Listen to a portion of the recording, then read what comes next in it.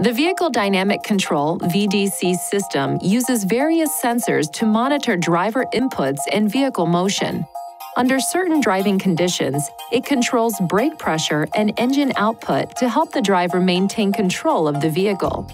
VDC should remain on when driving, except when freeing the vehicle from mud or snow. To enable and disable the VDC system, press the right or left arrow button until Settings displays. Press the up or down arrow button to select VDC settings. Now press the OK button. Select System and use the OK button to toggle the system on or off. Please see your owner's manual for important safety information, system limitations, and additional operating and feature information.